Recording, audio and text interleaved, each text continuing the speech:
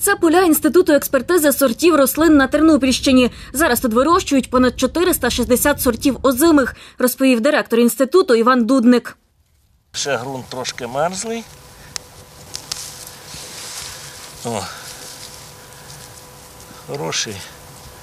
Хвороб немає, стебла, хороша вегетативна маса.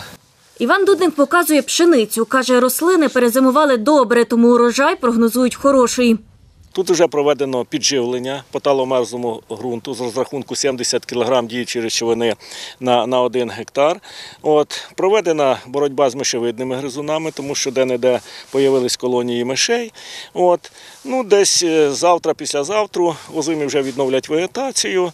Ну і далі будемо працювати по технології догляду. А тут засіяний озимий ріпак. Його також підживили і чекають на добрий урожай, каже Іван Дудник. Ви бачите, яка гарна от, вегетативна маса, яка, як гарно розвинута розетка. От, вже йому нічого не пошкодить. Які б не були погодні умови, от, як по озимій пшениці, так по озимому репаку, такий стан, який сьогодні він є, і те, що зроблено, проведено підживлення, пожива пішла. До кореневої системи, тільки від нової вегетації вона вже буде е, сильною. М'ячна салітра там, так що страху вже подальшого випадання цього стану не буде. Тепер підприємство готується сіяти ярі культури. Мають засіяти 80 гектарів, розповідає Іван Дудник. Каже, пальне та мінеральні добрива мають. На сьогодні у нас повністю підготовлена техніка. Повністю ми забезпечені насінням ярих культур високопродуктивних сортів.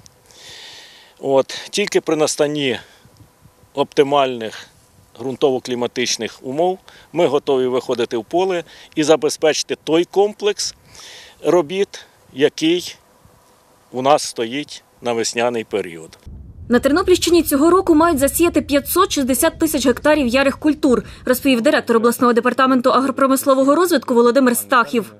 Основними матеріально-технічними ресурсами забезпечення. Підживлення провели перше, будемо казати, на озимення. І на сьогоднішній день основне питання це потреба в паливомастильних матеріалах. Це, мабуть, що одне із самих болючих питань, адже дуже багато проплачено було і в зв'язку з воєнними діями практично не доставлено аграріям. Тому на сьогоднішній день Кабінет міністрів вирішує це питання.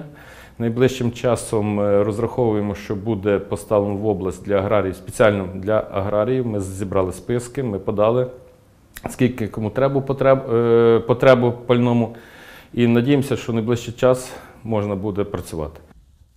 Через погодні умови аграріям доведеться проводити посіви вночі, каже Володимир Стахів. Попри комендантську годину, обласна військова адміністрація дозволила роботи після 22-ї, але фермери мають попередити про це голів громад.